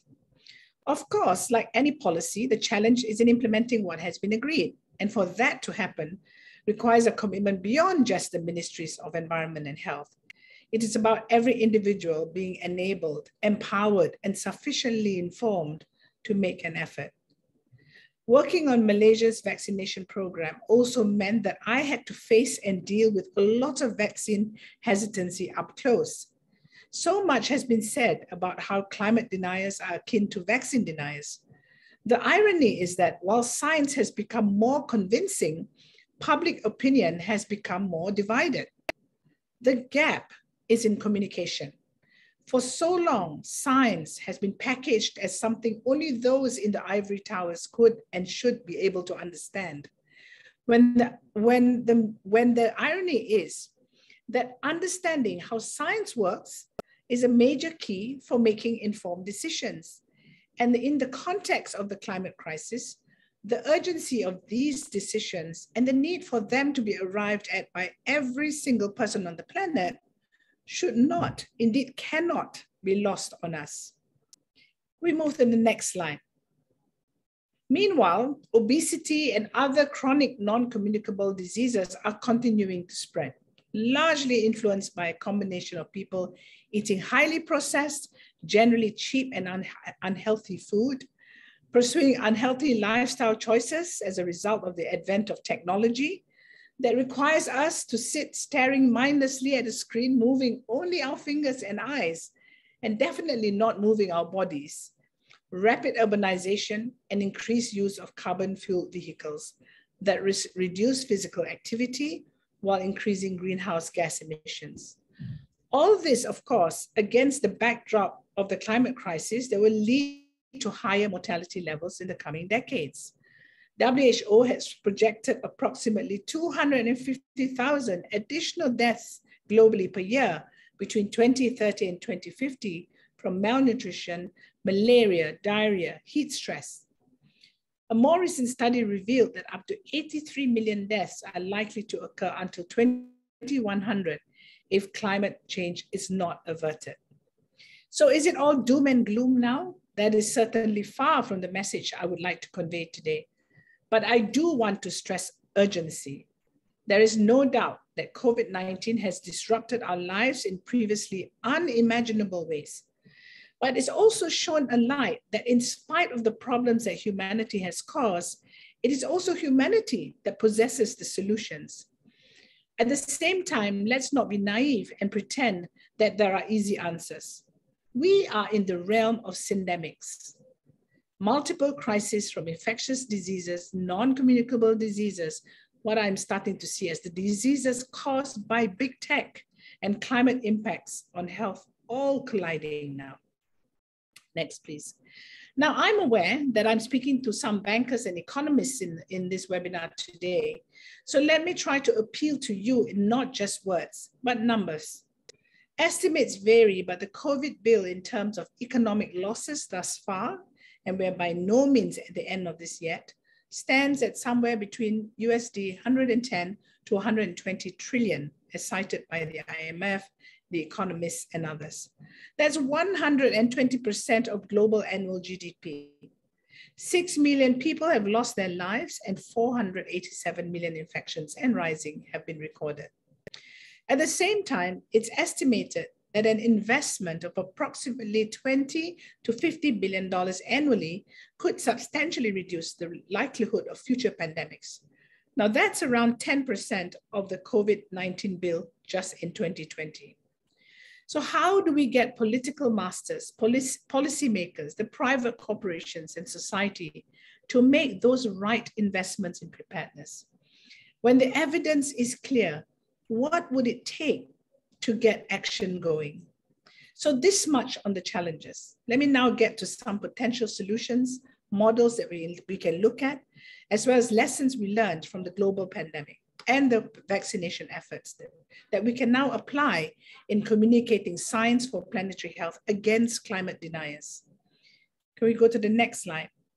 Perhaps some are already familiar or not, but central to the planetary health concept is also donut economics, a new model that proposes that economic development must operate within a safe and just space for humanity, in which there are no breaches of the ecological ceiling outside, nor shortfalls below the basic social foundation or the inner ring for humanity, or more simply, the provision of life's essential services. So what I'm trying to say is we need to shift how we plan and implement development with conscious concern not to damage the planet. This needs to be drummed into the development world from politicians, private sector, the public. Avarice and greed will be the end of us. We need to wake up and recognize that urgency.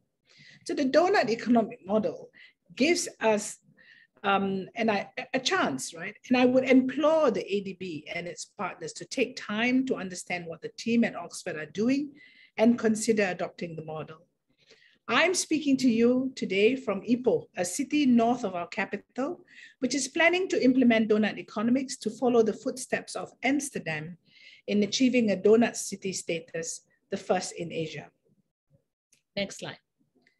Coming back to the core of this presentation and now understanding the similarity in the psyches of vaccine deniers and climate deniers, how do we shift focus and behaviors to addressing the climate crisis beyond just the COVID-19 pandemic?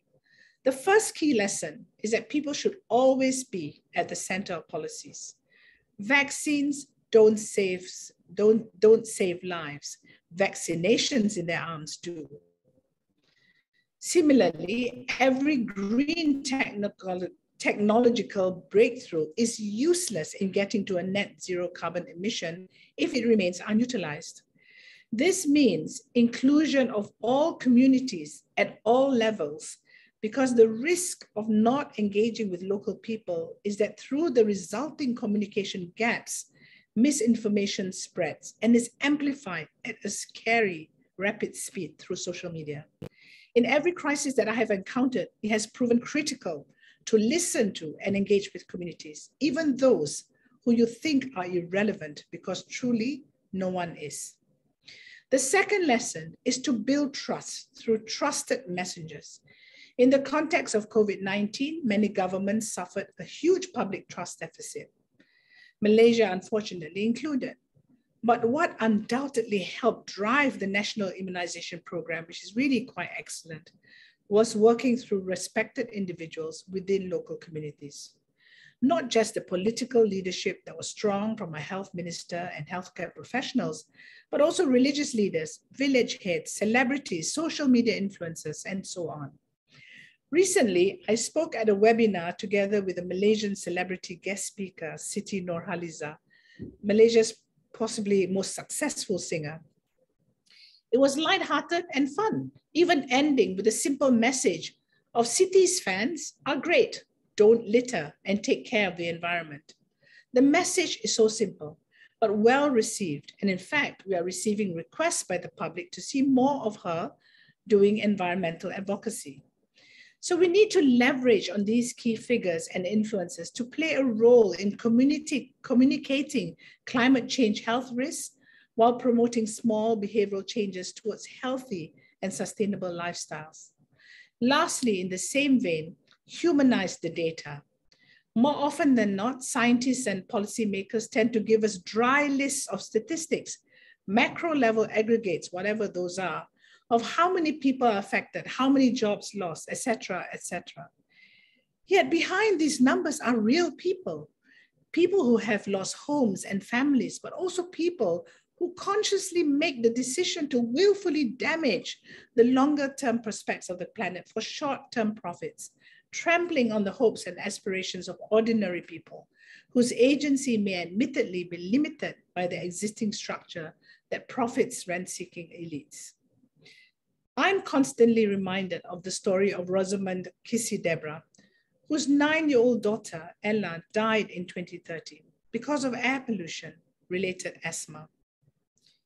Rosamond, a former teacher, is now a frontline advocate to end fossil fuel subsidies because both climate change and the air pollution that took her daughter's life are driven by fossil fuel burning. As I conclude, there is one more issue that I want to leave you to think about. I'm partway through reading a book written by Johann Hari called Stolen Focus Why Can't You Pay Attention? If, like me, you feel that your ability to focus over the last couple of decades has deteriorated, then you are not alone.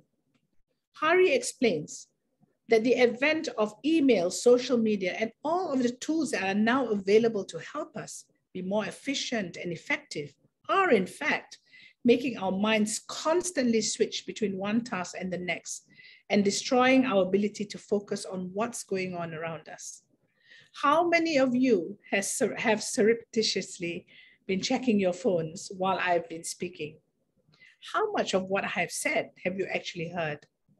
How much might you retain as you check your emails to make sure that your, your value is recognized? Because people are constantly sending you emails, looking at Twitter likes, which trigger a dopamine response in your brain, LinkedIn shares, Facebook feeds. Apparently, Facebook only for us over 40, TikTok videos, and Insta hearts. I worry that we are now too distracted by technology to find the time to pay attention to the really big issues, that we are sleepwalking into a planetary health crisis where our distractions and our tech, in, tech formed and reinforced opinions will quite literally be the death of us, whether vaccine denial, climate change denial, COVID-19 conspiracy theories, or whatever is coming next. And I don't mean to be preachy here. Those of you who know me know that I'm active on social media. But this book hit me squarely between the eyes, and I'm now taking time to reflect on how I'm spending my tech time and the extent to which throwing my thoughts into the technology echo chamber is making a difference or not. At the same time, the reality is that people trust social media use it as their primary news source, and often don't check to see whether they are being fed, whatever they're being fed is true. So we must engage via social media, but we need to be smart about it. Quite how, I don't exactly yet know, but I'm thinking about it. And I would love to hear from any of you about what you are doing or think might be helpful. I firmly believe we need to get the best minds together to help find a way out of this huge challenge we all face. I hope that what I have presented is useful and clear. The health of humanity and the planet are intertwined. Planetary health is about people. So let us make sure that this is our priority. Thank you very much.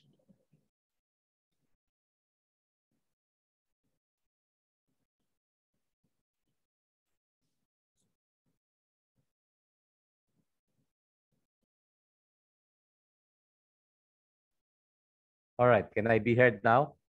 Yeah, thank you so much, Dr. Jemilah. Such a reminder uh, to each one of us that we must begin to focus on the big thing and what really uh, matter. And uh, that social media has not worked yet towards that direction, but it still is the most popular way of reaching to uh, most number of people. Um, we will have time to do our uh, uh, open forum, I think uh, given that uh, we run uh, more time on some other speakers, perhaps we can allocate two or three questions from our uh, audience. But I already have two right here uh, in the chat. Uh, if I may raise this question to our panelists and uh, you can respond uh, from uh, Doc Glenn, uh, uh, Dr. Uh, Dr. Ha, and then uh, Jemilah now and Dr. Suherman. They, uh, did you have a chance, this is from Hasint Musumam Watsa, did you have a chance to compare the effect of COVID-19 vaccination and routine immunization program on climate? And what are the lessons learned and best practices from pandemic vaccination campaign that can be extended to the routine immunization in the climate change perspective? Okay, so this is a bit of moving it forward from vaccination campaign related to COVID to the routine vaccination or immunization uh, campaign and how uh, we should look at it from uh, climate uh, perspective. Anyone uh, uh, Dr. Glenn, are you still around? If, can we hear from you briefly uh, on this question? And can you turn on your uh, camera? Okay, uh, while waiting, uh, uh, either Dr. Thurman, Dr. Ha, or Dr. Uh, Mahmood, uh, uh, anyone on the first question? And you can see the question from the chat uh, yourselves. Uh, okay, Doc Glenn, are you ready? Yeah, I'm just looking the chat again. yeah, on the on the uh, Q&A chat, yes. Effect of uh, COVID-19 vaccination and routine.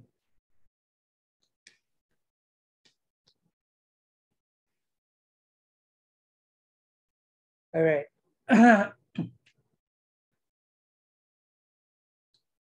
Are we answering Hyacinth first? Yes, yes, we are.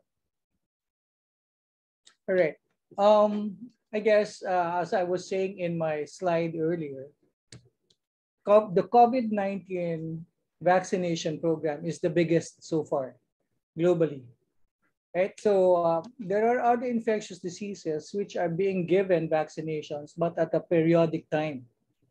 Never has then be, there been a time like this COVID-19 vaccinations that we're simultaneously doing. Uh, this is because of the nature of the of the infection, wherein you know it's very fast. Infection and vitality is very fast. The spread is very fast mutation is very fast so that we have to uh, act faster. And because of that, um, this has given us a,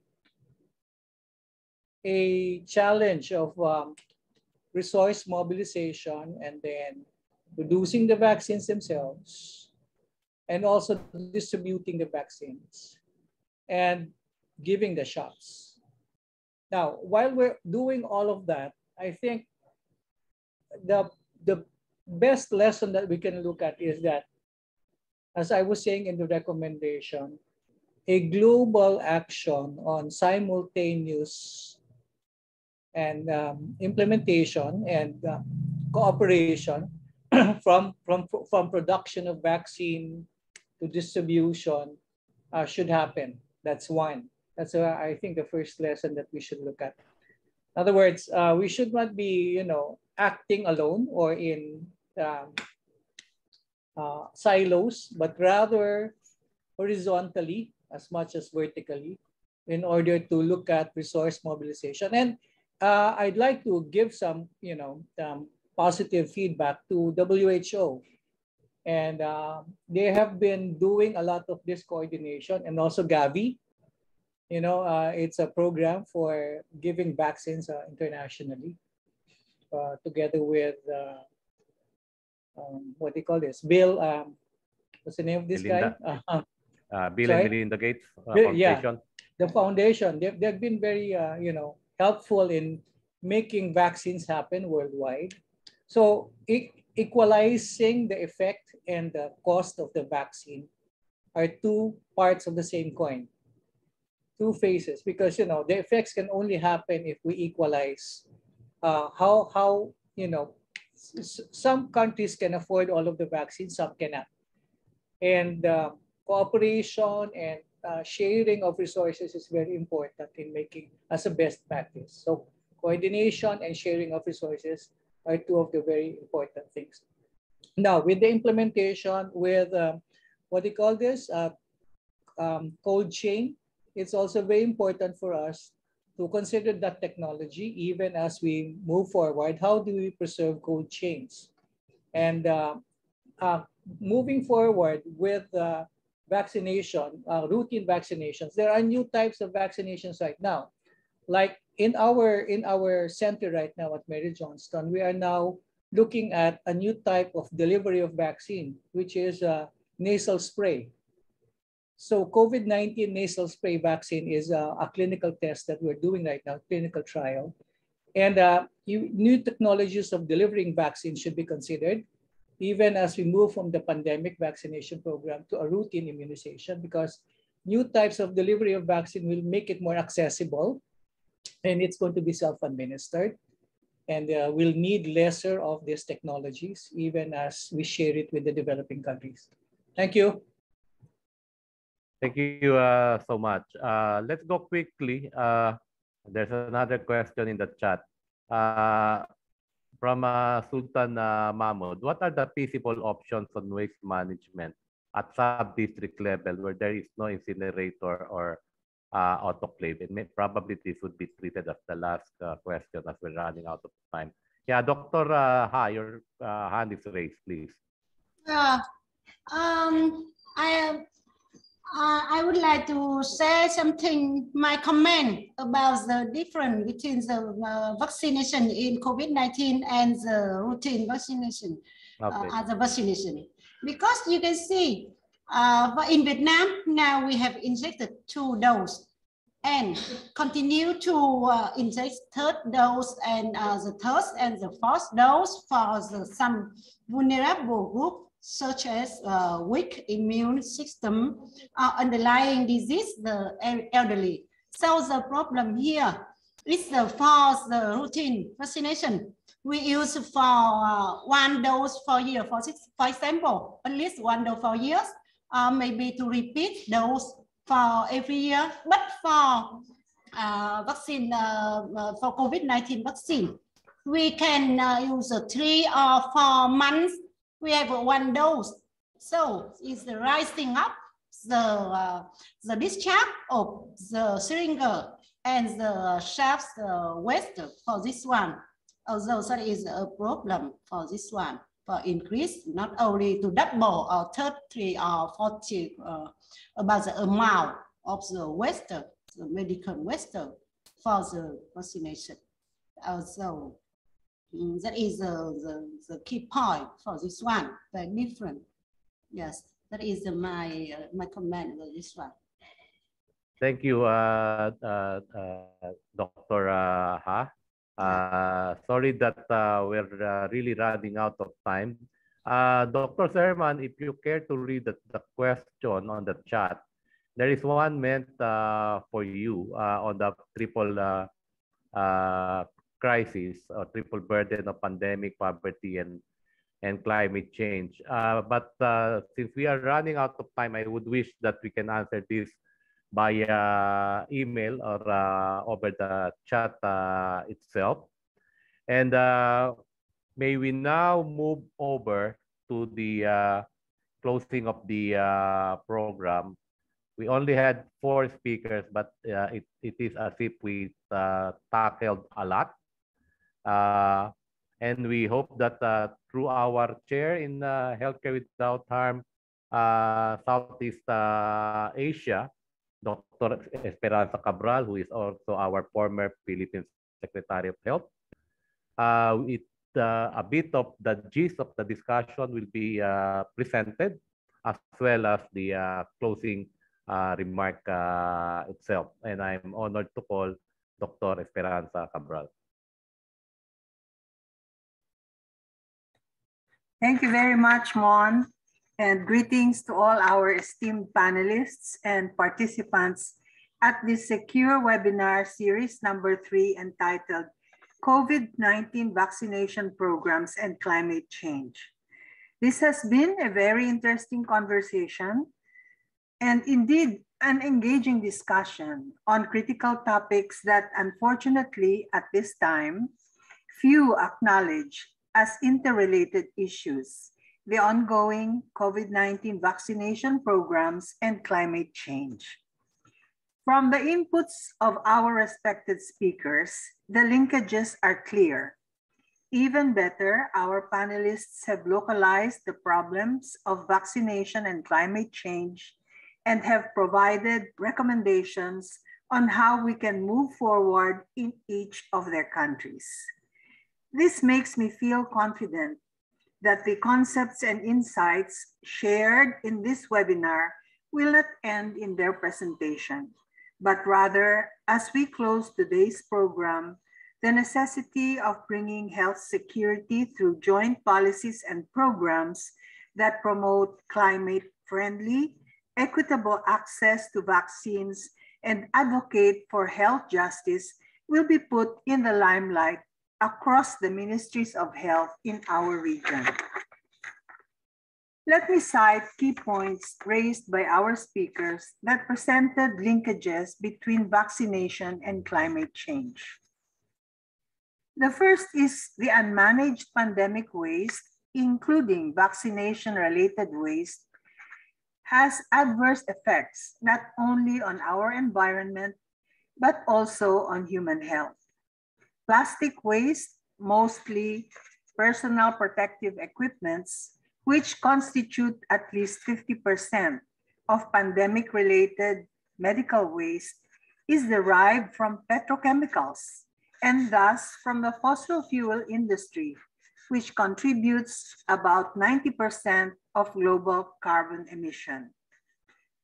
Vaccine-related gas, um, greenhouse gases emissions can be reduced with better cold chain logistics and production of supplies utilizing clean energy and the proper medical waste disposal.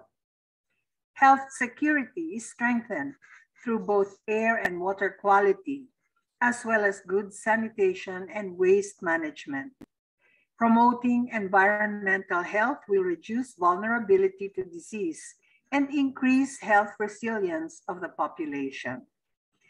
Pandemics and climate change disproportionately impact the vulnerable and marginalized communities, clearly increasing global health inequity.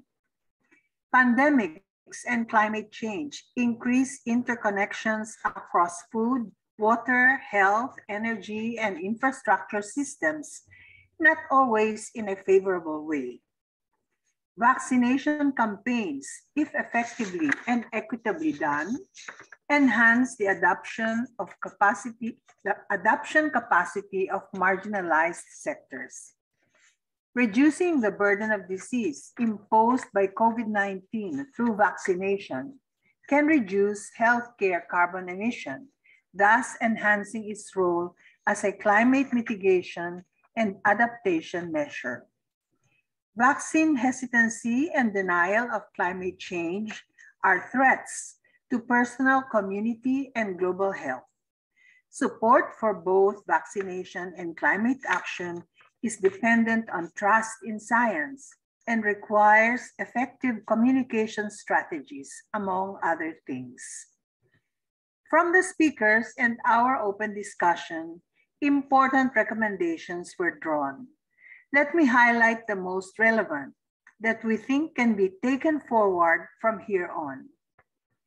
First is as COVID-19 vaccination accelerates, its environmental impact should be made part of sustainable vaccination planning that may include vaccine waste, especially plastic waste to be reduced, and sustainable pro procurement in healthcare should be utilized as strategy in reducing carbon emission and toxic waste from cold chain and other larger supply chains of vaccines.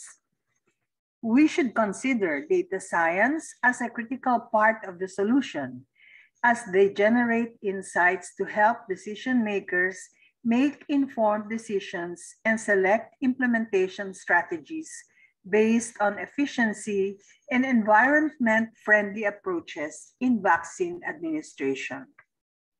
Disease prevention and vaccine acceleration should be viewed as related climate actions where existing tools such as those being used by healthcare without harm, for example, can be applied not only to measure toxicity, but more to promote action that reduce carbon emission. As we have seen, health security through climate-friendly COVID-19 vaccination programs can be further enhanced if taken from the broader perspective of promoting environmental health and addressing the health impact of climate change. To close, let me congratulate and thank our panelists and all of you for your active participation and important insights into this challenging issue of vaccination and climate. On behalf of Healthcare Without Harm Southeast Asia, may I also thank Asian Development Bank for initiating this webinar and entrusting our organization with the management of the event. Thank you and good afternoon.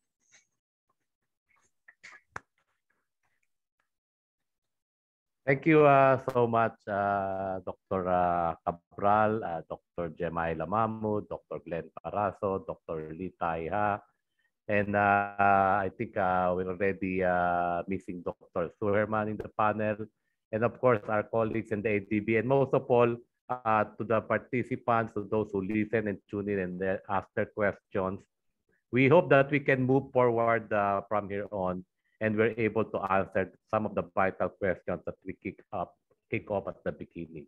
Indeed, uh, uh, there's that vital link between the pandemic, the solution being provided for by the vaccination, and how we address degradation of environmental health, as well as uh, further destruction of our uh, climate. So thank you again uh, so much to all of you and uh, we say good afternoon or good night or good morning if you're on the other side of our planet. Thank you. Thank you. Thank you and goodbye. Goodbye. Yeah.